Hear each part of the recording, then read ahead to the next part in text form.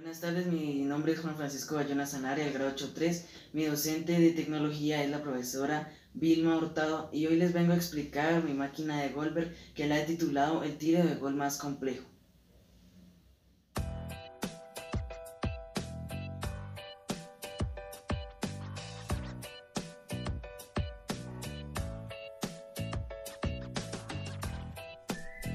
El proceso de fabricación fue hecho totalmente con materiales reciclables, como un muñeco ya dañado, una copa de vino, cartón, balso, una botella, cartulina, una tapa de spray ya dañada, eh, resorte de una de un esfero ya desgastado, palitos de helado, hilo caucho, malla de fruta y pitillos.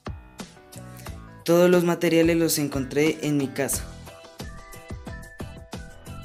Funcionamiento de la máquina de Goldberg se, ejecutará de la siguiente manera.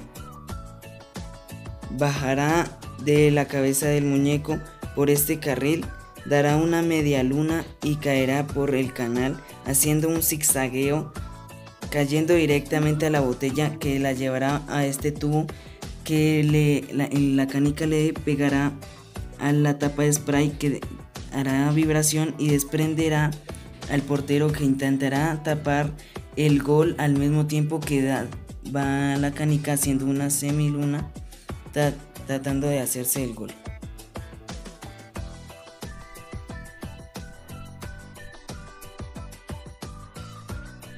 Procederé a hacer la demostración de la máquina de Goldberg en funcionamiento.